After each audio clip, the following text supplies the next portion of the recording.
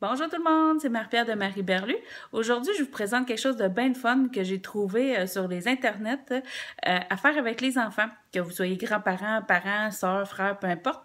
Euh, c'est des, j'ai trouvé des petits animaux de mer que quand tu les mets dans l'eau, après euh, à peu près 24 heures, ils doublent et ils triplent de grosseur.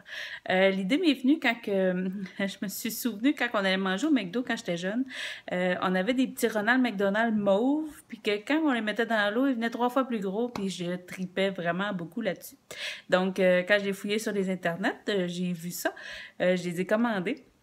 Donc, je vais vous présenter une petite vidéo que j'ai faite avec Didi pour voir comment que elle, elle trouve ça. Puis après, je vais vous présenter toutes les, les sortes qu'on a reçues avec les belles couleurs et tout. Puis peut-être une petite surprise après. Qu'est-ce que tu fais, Didi? Moi, je suis dans ça. Et c'est quoi ça? C'est des animaux. Ça, c'est un bras. Ça, c'est une tortue. Ça, c'est un ouvrier. Ça, c'est une étoile de mer. Wow! Regardez tout ce qu'on a ici. On a, on sera pas là, on va zoomer. C'est des grenouilles, des crabes, des raies, des pieuvres, des hippocampes, des tortues. Puis là, on a fait ici une, une batch, si je peux dire.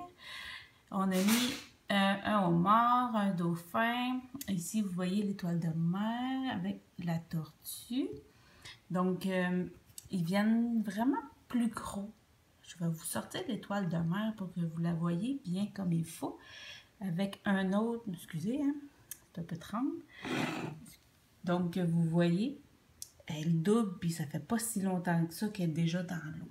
Donc, euh, c'est vraiment quelque chose de fun à faire avec les enfants. Moi, j'étais jeune et je m'en souviens encore. Donc, euh, si vous voulez, manifestez votre intérêt sur Facebook. Puis, euh, je vais vous faire un beau petit sac, si jamais vous voulez, en concours pour que vous puissiez faire ça avec vos enfants. Bye!